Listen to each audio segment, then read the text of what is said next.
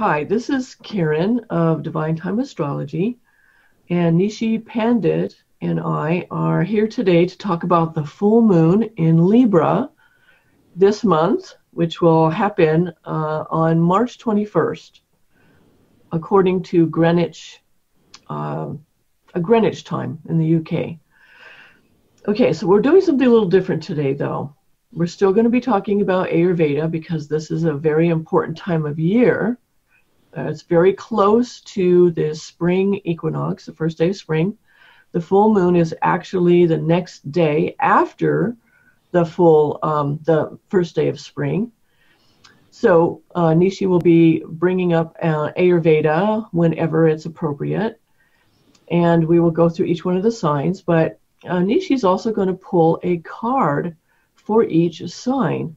So we're adding another layer, something else, another way of looking at things through the cards, as well as the astrology.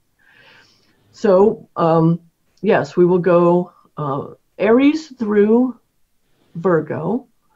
That'll be part one. And then Libra through Pisces will be part two. So it's going to be in two videos, as usual.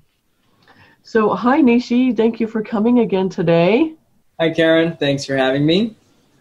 Yes. Yeah, so, since this full moon in Libra is the day after the first day of spring, and we checked, it's not usual for the moon to be full on the first day of spring. That's right.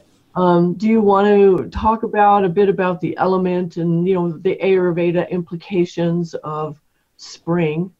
for instance, um, before we begin with the signs? Sure. Sure. I think you know there's there's several things to say about the seasonal shift, and it's always a time of change, astrologically as well as you know Ayurvedically. We take seasonal shifts very seriously because it's a time when the energies of nature are shifting, and when things are shifting, it can also be a time of imbalance because if you haven't been balanced before, then now there's going to be a new set of patterns to integrate with. And it's very easy to not adapt to that very quickly. You know, that's a time, typically we say in Ayurveda that seasonal changes are a time when Vata tends to become imbalanced because there's a change. Oh, and then plus there is the time change too. That probably adds to the daylight savings time is not a help, you know? Yeah. For those who are suffering daylight savings time, technically speaking, you know, the time is determined by the movement of the sun, you know, in the sky. So daylight savings time is not lined up with that process. So you have to subtract an hour, you know, like lunchtime we would say is at noon because the sun is at the highest in the sky, so the digestive fire is burning strong. Mm. Or in daylight savings time, that's really more like 1 p.m. so you yeah. have to kind of, you know, if you want to get serious about balancing these things out, you would have to, you'd have to work it out that way. Mm. Um, so regardless of daylight savings time, it can just be a time of change. Anytime there's change, vata goes up, you know. And if we meet that change readily, you know, say we have a healthy moon in our chart, we can adapt to things, then vata goes down. And it's like we we found the harmony with it, you know. Mm. But when there's a change, that demand is there, you know. So there's stress. And every season also has its characteristic doshic imbalance. You know, in the springtime, you know, the sun has entered Aries. That's what signifies spring. You know, it, it's the movement of the sun that signifies the seasons. So sun moves into Aries, it's an exaltation sign. So now the sun is at its strongest. The flowers are starting to bloom. Um, the dormancy of winter is starting to, to awaken. You know, the trees are greening. Mm-hmm. Fragrances are in the air again. Pollen is moving about. And, you know, nature is fertile. You know, it's ready to produce and that's part of the energy of the sun that creative life energy you know? So spring is a time when there's a melting of the ice you know? A melting of the cool. So it's a time when kapha can become imbalanced in people because all of the kapha that's accumulated during the winter season during that cold time now is going to get melted in you know the exalted sun of spring. So it's all going to be flowing out you know so it can be a time when kapha gets aggravated you know. And you'll notice people get congested, they sneeze, they Mm-hmm. have all kinds of, you know, kapha type allergies during this time. Do you want to explain briefly what kapha is for people listening, just in Sure. case they don't know? Kapha is one of the three doshas. It's associated with the qualities of being heavy, smooth, round, cool, calm. Um, it's it's this it's the you know vata also is a cool quality, but kapha is associated with earth and water elements in particular. You know, whereas vata can go cold or hot depending on what it combines with. Kapha is really the truly cold, the truly yin um, part of energy. You know, if you're talking about doshas, pitta is yang, and kapha is yin, and vata is like the chi that regulates those two polarities. So kapha is you know very stable, earthy, um, not very movable, thick. So the qualities of kapha in our body is like mucus, you know, lubrication. Kapha plays the role of lubricating everything in our body, making sure it moves smoothly. Um, make sure we have substance, you know. Usually kapha people are larger, they have more development muscular and more fat tissue, they just have more substance, you know. So kapha is substance, so during this time, though all the substance we've accumulated to survive the cold of winter, you know, we've like gained buffer, you know, for the winter season. It just probably doesn't look like I did, but you know, some people did. that buffer starts to melt because it's warm now. It's time to cool off. You don't need all that extra extra weight, you know. So the So kapha is flowing, you know. So can I ask you a question then? Sure. My husband is very, very thin Okay. and always has been. Sure. So now that spring is coming and the kapha is, well, I guess melting is, is what it sounds like you're saying. How, how can I feed him to make sure that he's not going to get even skinnier because he's so dang skinny? Yeah, you know, people who are skinny don't have that much to worry about if they're not, you know, because they're not going to be have a lot of kapha to begin with, you know. So even the little bit of kapha they accumulate in the winter is like doesn't really add up to much. So they don't they don't get congested when spring comes around. They're, they're you know they don't have that much mucus to begin with. you don't really have to worry in a way. You can just feed them a diet that's you know appropriate for spring. And what is that? Well, spring is a warmer time, so it, it's good to have a diet that's cooling, you know, that's nourishing. Isn't it also the time of the year where the liver naturally wants to, um, what? It's the liver's time, that's true. Yeah, the liver's time. Because Yeah. spring is associated in the Chinese system with the wood element, which is the element associated with the liver. You know? So Mhm. it's a time of regeneration, you know, and the liver produces the blood. The blood is like another symbol of the life force and the nourishment moving through us, you know, just like the, it's moving through the flowers and producing nectar. You know, this is a time of like the awakening of the life energy in the body. And So we eat bitters. We eat more bitters, right? It's a good time to go green. I mean, you'll just look at what nature provides you during this time. Mm-hmm. That's your basic clue, you know? Yeah. There's going to be fruit. There's going to be more fruit. There's going to be more green. Nature's getting green. Nature's getting more colorful. There's flowers. You know, this is a time to eat more natural foods. You know, raw foods is great during this time. Hydrating, cooling, nourishing diet. Whereas in winter, you might have needed to eat foods that were heavier. You know, in spring, you can start to lighten that up. I, have been waiting all winter to be able to eat more salads without feeling cold.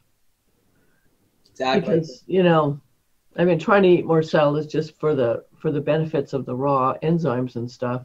That's but right. in the winter, there are days when I'm just like, no, I can't eat salad today. It's too cold. no, it gets really hard. You have to go Yeah. for a warm soup or something usually. yeah.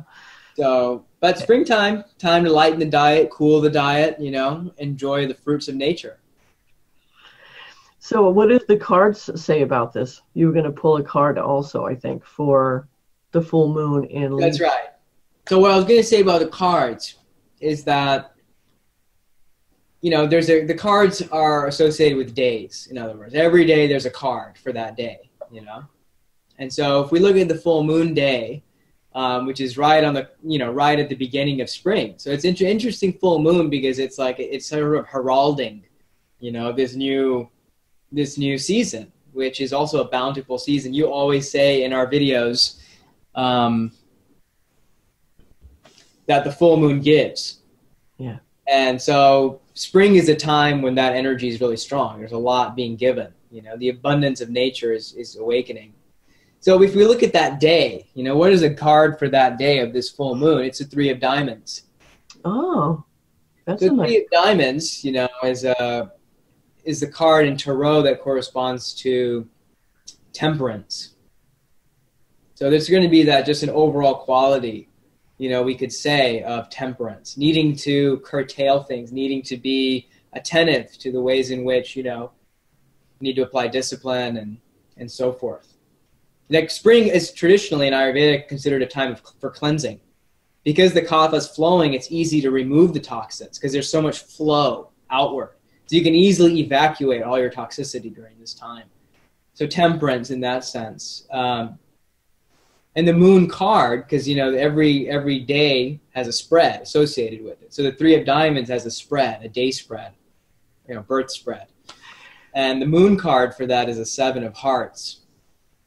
So because we're talking about the full moon, it's interesting to look at the moon card, you know, on this day. So that's a seven of hearts, and hearts corresponds to, you know, it's kind of a kapha water element based suit, and it's really about the about fruit, you know. The spade is the tree, and the heart is the fruit. So it's really an appropriate an appropriate energy, you know, for the spring season. Yeah, especially because the full moon is in Libra, which is Yeah. a Venus sign. Though fruit doesn't correspond to Venus, that corresponds to Jupiter. But still, it's a Venus sign. taste. Venus rules taste and, and food in that sense, um, nourishment. So you know, and red, all the red suits in general represent nourishment. You know, so that's interesting. And then you have the moon itself is placed in the Venus card. You know, because like you said, moon is in Libra, and that card is a nine of clubs. So you know, nine of clubs is a card of of of universal ideas. You know, universal perspectives and a lot of you know a lot going. You know, the moon is there, Mars is there, Uranus is there, the midheaven is there. All of those are in this card, the nine of clubs. So a lot of the energy of this full moon is actually kind of like a a nine of clubs energy. You know, universality. You know, universal. You know, universal perspectives. The open expansion of the mind. You hmm. know, it's a Ketu ruled card because it's a nine. You know, and hmm. clubs is air element in the mind. So a lot of you know opening of the mind i think and that's really could be very inspiring for people so inspiration's running high right now for a springtime exalted sun some nice stuff going on with the moon cards and whatnot it's like this is the time to really have a strong intention and you know capitalize on this the thrust of nature you know Yeah, yeah, exactly. Okay, so then, So then Oh. I'll uh, pull a card, you know, as we go through each sign, and that's going to be more like, you know, just be doing one card draws for each sign and seeing what what the deck reveals. Yeah, that'll be really interesting. Okay, so let's go over to Aries. And for Aries, the Aries uh, rising sun or moon, the full moon is in the seventh house of partnerships and the public. And what's interesting is that in the Jaimini technique, when you have Venus moon combinations, it makes you popular with the public. You can interact with the public in a way that um, is more graceful. And there's you get a better response from the public. So if you're in a job for instance where you work with the public that's a good day for that. You'll have more energy for it. You'll be more easily connect with people. And then of course it's also a relationship house for aries um, rising sun or moon. And so with the full moon gives so why don't you plan something that for that day? So it can be something small it doesn't have to be a big thing but where you spend time with your partner if you have a partner and um, you know enjoy the full moon because it's a the moon is a connector planet. It's uh, described as being lovesick and when it's full you can get some satisfaction there in that desire to um, connect with somebody now if you're single it's like i say every month for every sign that has the full moon in the seventh, don't stay home on that day.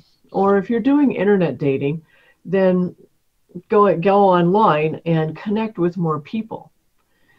So it's also a time too to see uh, for because the moon is also about getting your personal needs met. And in a Venus sign, strictly speaking, um, it's not really the best sign for the moon because there's a conflict. The, the moon is about getting your own personal needs met, whereas Venus, which is ruling Libra, is about making sure that the relationship, that both people in the relationship are getting their needs met, that there's an even exchange of energy. So it's a good theme. It's something to think about on that day and to think about your relationship and yourself, but to to emphasize the relationship more than your own than yourself, than your personal needs. Now, unless you're in a relationship where it's always really unbalanced, meaning where the other person it seems to be all about them, or it's always about you. Like, say you're going through a crisis and you've been going through a crisis for a while, and it seems like your partner has had to make a lot of um, compromises and to sacrifice a lot of things for you. And in that case, on this day, you can make an effort to put all that aside as much as possible and then just focus on the relationship itself. Okay, so what would you like to say about that, Nisha? You have a card for us? Yeah, let's draw a card. Let me shuffle. And let's see what we got. Huh. Ace of Spades. Hmm. Ace of Spades is the Sun card in Tarot, so that's appropriate enough for Aries people who are experiencing the exalted Sun during this time. Ace of Spades. So basically, I would say, Aries people, what do you want to create? You know, what do you want to birth? And this is like a fertile time of year, as it is, and the Ace of Spades represents um, a lot of creative energy, you know, the beginning of something, the initiation of something. You know, it's the first card, you know, of the first suit.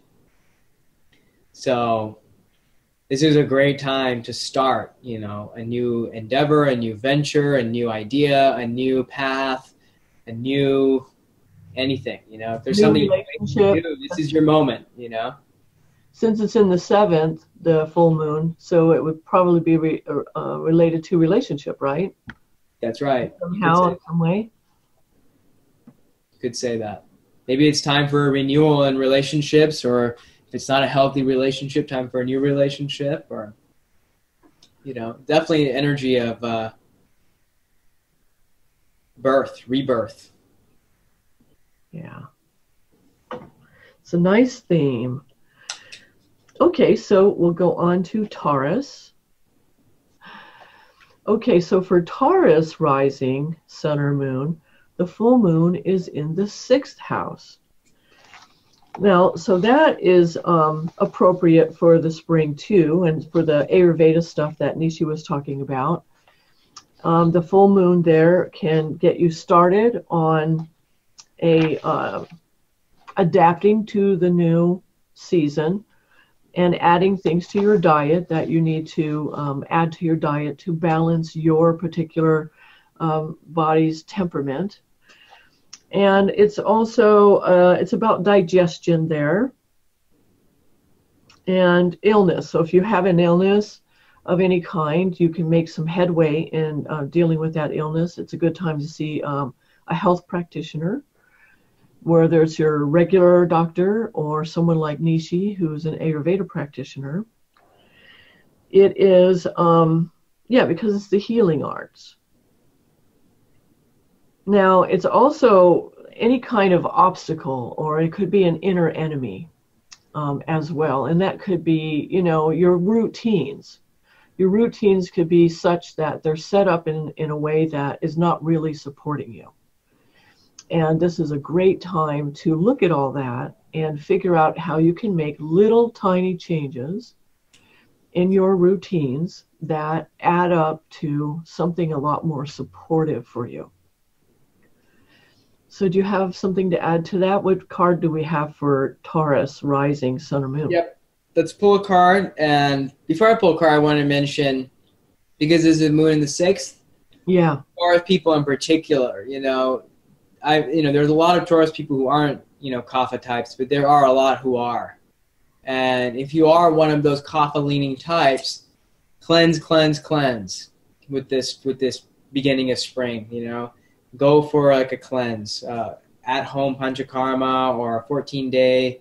You know, I, I really like um, John Douillard's Colorado cleanse. It's a 14 day at home sort of panchakarma Hmm. built on those principles. So, good time to cleanse, fast, whatever people prefer. Um, and the card.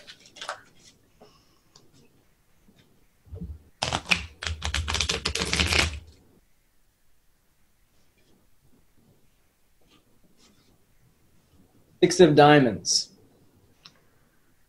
Oh, how do you like that? It's a six. it's a sixth Six of house. diamonds. Take care of that sixth house and that, you know, Venus. So this is a time when you could get a lot of benefits, a lot of fulfillment from um, doing a cleanse, just like I said, actually, because Venus is, you know, the sixth planet, and Venus rules rejuvenation, regeneration. So this is a time to purify, rebalance, and rejuvenate. You know, tap into mm. that Venusian energy. It, right, because Taurus is ruled by Venus. Taurus ruled by Venus. Full moon is in Venus sign. Yeah, and Yeah. Venus is aspecting the full moon. And they got well. Mars in Taurus, so that Mars is going to help burn toxins right now. It's really an, a very ideal scenario for Taurus ascendants to do a cleanse right now. They got Mars on their side to burn it. They got spring on their side to let it all flow. They got the full moon in the sixth house. Perfect. Six of diamonds. You're going to get a lot of concrete fulfillment from doing a cleanse right now. That's what I'm. That's what I'm saying, at least. Right, and if you're not able to do like a full cleanse, just adding something like dandelion tea after your meals, um, having more fresh salads with like bitter greens in it. Yep. Eat more local, eat more fresh. That'll balance as well. The intelligence of nature. If you eat seasonally and eat locally, you'll be in balance. Excellent. Okay, so you ready for Gemini? Go for it. For Gemini rising sun or moon, the full moon is in the fifth house. Well, the fifth house is creativity, it's spiritual practice, it's the mind, it's children, and the full moon gives. So if you are working on something creative or you've been wanting to get to something creative, the full moon is actually the best time to begin something. It's not the new moon. The new moon is when you give something up, you're letting go of something really, um, because you're finishing up the, the previous cycle. But the full moon is the best time to begin something. So, uh, since it's in the house of creativity, and if you have children, you can do something creative with children. Um, it's the house of spiritual practice and mantra in particular, isn't it, Neeshee? The fifth house, I believe, is mantra. hmm And what if you were to suggest a mantra just in general for people for uh, Gemini rising? What would it be? So I have no idea. moon related? I would. You could do mantra for the moon. You could do like bija mantra for the moon. Okay. Um, it's also the house of the mind, so it's a, a, a fruitful time for studying. It could be spiritual, it could be anything that you're studying. It doesn't have to be something spiritual or something creative necessarily, but it is a good time to do something for your mind, to further uh, maybe something you've been studying. So, for those of you who are students of astrology, it's a great time to get back into your studies if, if you've been too busy with other things. So what would you like to say about that? What kind of card does, does Gemini have? card.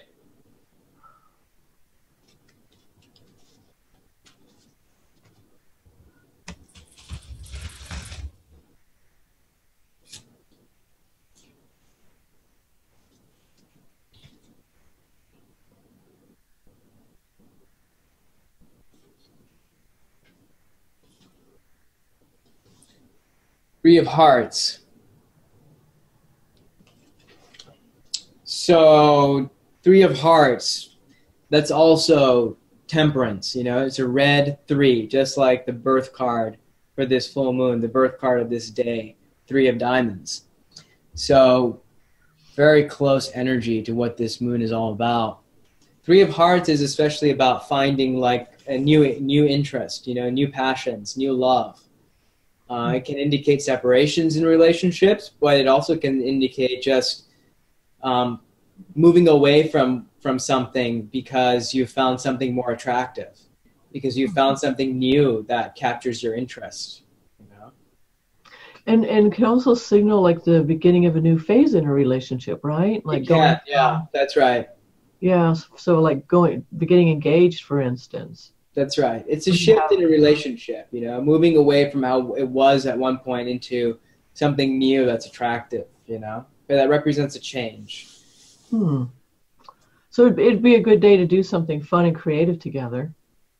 Yeah, it would be a good day to do something fun and creative. It'd be a good day to simply consider, you know, what what new attractions might have, you know, been arising in your life that you want to pursue. It's a good time to energy into that.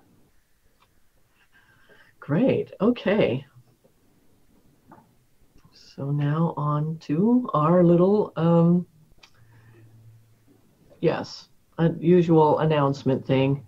So if you're enjoying this video and you want more on Ayurveda astrology and the cards, please hit like and subscribe, and you'll be sure to get this every month uh, when the full when the moon is full.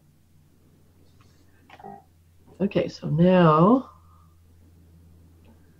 Cancer rising sun or moon. For Cancer rising sun or moon, the full moon is in the fourth house. How perfect is that? Because the Cancer is the natural um, fourth house, and the moon rules Cancer. So the full moon being in the fourth house is about your mother, it's your emotional happiness, your home, uh, real estate, fixed assets, vehicles, academic degrees, and pets. So if you've been wanting to get a new pet, this is a great time to get a new pet. And I actually know of some people who are actually are working on that. They're, they're looking into um, getting a new pet. So that would be a great day to do it. And also, you can stay home that day to just enjoy being and, and, and you know, being comfortable at home because the moon is about comforts as well.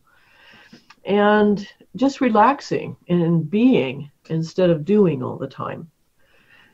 And, you know, with Rahu there, in the first house for Cancer rising, you know, there's just a strong emphasis on self development and growth, etc. Um, this would maybe be a day to take a little bit of a rest because it's it's been kind of intense, I think, for uh, Cancer rising people. Let me see. So yeah, the fourth house is the house of emotional happiness, and the moon has a lot to do with emotional happiness, for sure you know, it's aspected by Mars and Venus. So maybe you can talk about that a bit in terms of Ayurveda, if the if Mars there is helping all that watery energy. Yeah, it's it's definitely you know a good thing because this is a time when the the fire is is turning up and all that's water and in ice is needing to be melted and evaporated. You know, so it's good right now to have Mars helping things out because what's needing to happen right now naturally is this burning up of things, you know? Great. So I think that that's really positive. Um, in terms of a card, three of spades. Hmm. Getting a lot of threes here. Interesting.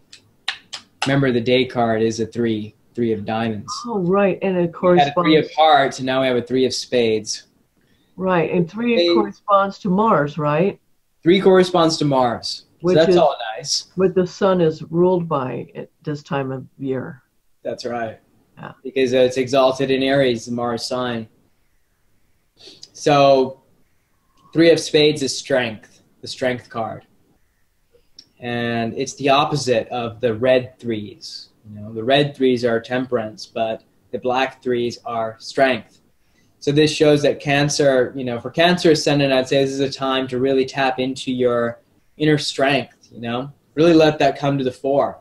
Cancer might often appear to be a very quiet, sensitive, you know, homebody type, you know, on some level, but this is the time to be really strong and to let that strength come to the fore, you know. It's going to be required of, of them in some way to harness the energy of three of spades, you know, strength in oneself.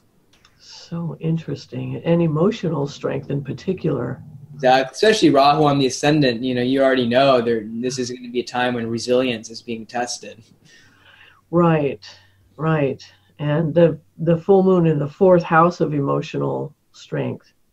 Exactly. Yeah, that's really interesting. So meditate on on strength. See what comes from that. Okay, that's a good one. Okay, now for oops, Leo rising people, sun and moon. The full moon is in the third house, the house of skills, younger siblings, uh, your daily routine, mechanical ability, and sales. So if you have a sales job, which you know, salespeople would say we all are in sales, right. and all day long, right? We're always selling something, ourse- ourself or some other such thing. Um, the full moon there can really shed light on your skill development, the level of your skill development, and since it gives, there should be some a pleasure and some satisfaction uh, that comes with the development of skills. I mean, this is one of the things that, that humans in particular are made for, and that is using their arms and hands. And that's the, the nature of the third house rules those things. When we make tools, right? That's what we're known for. I mean, crows make tools too, and other animals do as well. But we really take it to a very high degree. So there's opposable thumbs. Yes, I know. So um, there's a really strong emphasis on skills for the third house. It's also a communication house. And the moon is a planet that likes to connect to other people and to communicate, to encourage, to speak sweet words of encouragement. Uh, the moon wants to grow. The moon is the growth principle. So if you've been working on something or thinking about beginning to develop a new skill, this is a great time to start it, if at all possible. Perhaps uh, getting together with siblings, like younger siblings as well, um, engaging in some friendly competition, uh, working with your teammates at work, doing something pleasurable. Like it would be a good time to go out with everybody after work and just brainstorm and talk about things and, and enjoy yourselves. Enjoy the work you've been doing together and the progress you're making. So, your turn, Neeshee. Okay, Leo. Card is.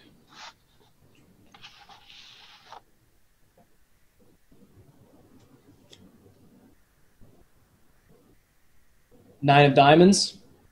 Make sure I got that right. One, two, three, four, five. Six. yeah, nine of diamonds, which is happens to be today's card, oh. March fourteenth. It also happens to be my birth card, and I'm also a Leo. Oh. How about that?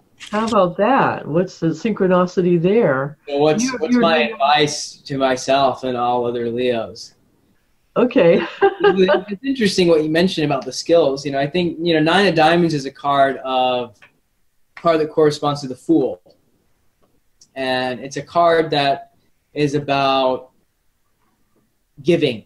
You know, being being a being a sacrifice. You know, being the nourishment that others can receive. You know, being that source of nourishment for others, being that offering to others. That's the meaning of the nine of diamonds. It's like Your life, your process is like the leaves falling from the tree that nourishes the soil.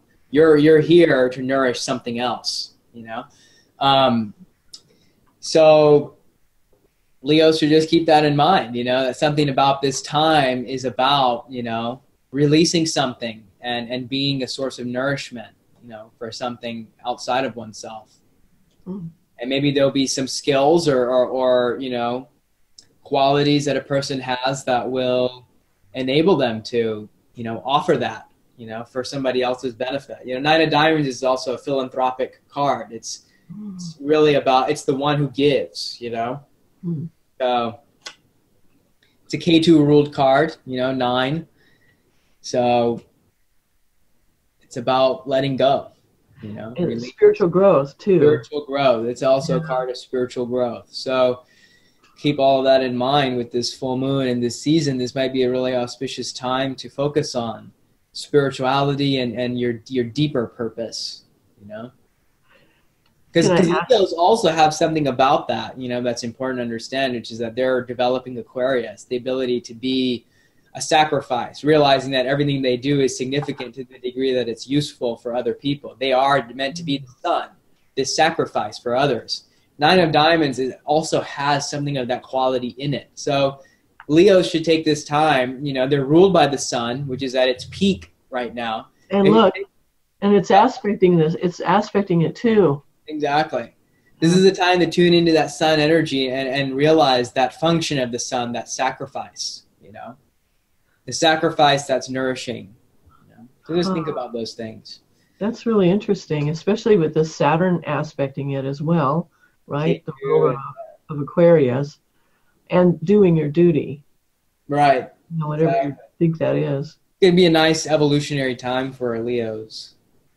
Okay if we had more time, I would ask you personally what's going on with you with that in that regard. Uh, but I, I know that because you're, you know, you're uh, involved with an ashram that you're probably engage in that kind of thing kind of quite a bit already. Yeah, I'm always kind of in a nine of diamonds process, you know, because I'm a nine of diamonds. that, well, that makes sense, doesn't it? Yeah, oh. so for me, it's just it'll probably be a time when you know something about all of that is made more potent, you know. Or, or taking on more responsibilities, perhaps. Yeah, or, or or ah. manifesting my skills at a new level. You know, it's like I'm doing more courses and things like that. It might be a time when I actually you know. Do you, do you have a course? Do you want? Do you have a course you want to tell people about right now? I do. I did. I did my introduction to Ayurveda and astrology course, and I'm today actually I'm going to make it available for as a downloadable course for like thirty dollars or something. really? Okay, I'm got, I'm buying it. I'm going to get it. Cool. Yeah, oh, people can just yeah. listen to it, and I also made text supplements for each module. There's about I can't remember how many modules, maybe eight modules or something. Wow. Uh, so it's good. I think people enjoy it. It's a good. It's it's not meant to introduce people to Ayurveda and introduce them to astrology. It's good if you have some knowledge. I'm more trying to describe the interrelationship between those two things so that people can learn how to do medical astrology, basically. Mm, um, so it's like an introduction to that. It's like an introduction to that, but I also do end up introducing a lot about astrology and Ayurveda at the same time, but it's not comprehensive in that regard my okay. purpose is to show the interrelationship. So I recommend that course for people interested in, in, in, medical astrology or any of those two sciences. Oh, great. Well, just check I, my website and you'll see it under courses. You know, you can go get it from there. Okay. Well, I'm going to do that. Absolutely. Okay. So now Virgo rising, sun or moon. And for Virgo rising sun or moon, the full moon is in the critical second house. This is happens only once a year. And the second house is about getting your emotional needs met. It's about your family life, your wealth, your income, your what you eat and drink, speech, teaching, close friends, advisors, and literally your teeth. which is kind of funny too. Um, so, not that I recommend that you go to the dentist on that day. I think if, especially if there's any kind of drilling or anything like that involved, you don't want to do that on a full moon. Right. In general, you don't want to get any surgeries on new moons or full moons. This is a really important principle, at least in Tibetan medicine, it is. Oh, yeah, I, I heard that in Western, traditional Western medicine too, um, cool. back when they were doing it when it was still based on the elements. That's right. Same yeah. thing. Um, so it, it must have something to do with the blood, right? Because the blood is like everything's well, expanded. At least in Tibetan medicine, where it's described is that during the new and the full moon, the like life force is pervades the entire body because it moves according to the cycle of the 30 day lunar phases. So the life force is concentrated in certain points. And so you have to know where it is before you do surgery or puncture the skin in any way because you don't want to puncture where the life force is. But on mm. new moons and full moons, it's throughout the whole body. So you can't get any kind of surgery during that time without really damaging your life force. Wow, that's really interesting. Yeah. I didn't know that. Okay, so don't even get an acupuncture treatment on that. Don't even get acupuncture treatments on new moons or full. Absolutely. Nothing that will puncture the skin. Okay, but it would be good to have a meal that would honor the new season, spring, yep. with all this stuff now. Uh, you know, you if you're just watching your own sign, then you wouldn't have heard a lot of the stuff that we've been saying about that. Um, but because it's a second house theme for Virgo rising, um, then we'll reiterate it a bit now. So that means having like bitter greens in your salads. Um, oh, gosh, it's leaving my mind right now. Dandelion tea, anything that helps to helps the liver to do its job. Yep. Think green. That's all you need to do. Think green. Okay. That's the name of the season. That's why the, the Chinese associate the liver with the color green. Oh, I didn't know that. Huh. This is the this is the wood element time of spring. That's the liver. That's the organ corresponds to, and the color of that's green. Just look outside. It's getting greener and greener. That's what we need to eat right now. And you know, and that works so perfectly with the sign of Virgo too, which is the sign of purification. Right. Exactly. and assimilation and um, there's three of them. Purification assimilation elimination? elimination yeah. So that will just help everything get moving. And then the um the emotional needs too. Because the full moon gives there should be some kind of satisfying emotional need that you get met during this time and if for some reason you're not getting your emotional needs met, the full moon there can really shed light on why. It could be that you're not speaking up enough and asking for what you want and saying no to what you don't want and or being able to negotiate with people. And those are skills that can be learned. Everything is learnable. And so that's a good time for that. And also maybe hanging out with good friends, you know, people who are truly friends for you, um, truly close to you, and or maybe just making contact with them would be a good time to do this. And of course, uh, you know, your wealth and your income. So taking stock of your wealth. And it's not necessarily money. It can just be other kinds of resources and how you can, you know, be, you'll see everything that you have. And because the full moon gives, you'll be grateful for what you have. But at the same time, you'll also perhaps get ideas on how you can create some other streams of income so you don't have just one stream of income. It's always good for everybody to have more than one, simply be, for obvious reasons. And uh, so take real, a good advantage of this time because it only happens once a year. Okay, so what do you want to say about that, Neeshee? Do you have a card for us? Ace of Diamonds, wow. the moon card. No kidding? Okay, yeah. wow. Ace of Diamonds corresponds to the moon. So this is the moon time. There you have it. You know, this is a good time to be lunar. To really tune into the nourishment of the full moon and basically everything Karen said. You know, it's like this is totally harmonized with that. You know, harmonized with this moon be passive right now. You know, it's not a time to like get get too intense about anything. It's a time to be more lunar, more passive, more more internalized. Yeah, your, your, process is going to be happening. Which so, perfect sense with moon moon in the second and all of that, you know.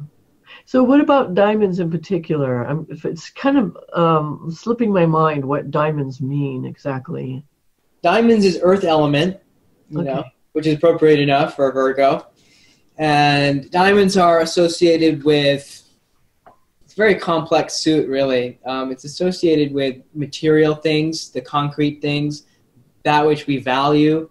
Um, diamonds are literally like the crystals of the earth, you know, that are forged by the fire under the surface of the earth. So spades are a certain kind of fire, you know, but diamonds are different, are born of it from another kind of fire, you know, the fire of the earth, you know, the deep fire. Um, and they, they produce these indestructible gems that fire does. The fire of the earth produces these crystals. They're really hard to break, you know, crystal.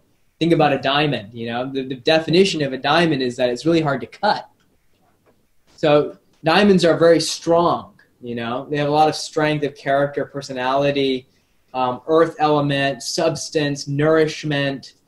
Um, that's and it corresponds to the second house so well because diamonds yeah. are associated with wealth. Yeah, wealth, prosperity. Yeah.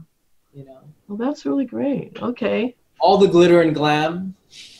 All the glitter and glam, right? I do have to say that I'm even after even though I've been married now for 13 years, I never stop enjoying looking at my wedding ring. Seriously. And there are certain places where you, it really stands out. Yeah. For some reason, grocery stores and Barnes the lighting. And the lighting. It's so strange. It's like I just stand there and admire my ring. My there husband have it. me along. What's that? There you have it. That's the diamond. It's a gem. Yeah. Yeah. Okay, so now, so that's the end of Aries to Virgo, part one. And now to go to Libra to Pisces, part two. The link is below, and we're talking about the full moon in Libra, which will be on March 21st.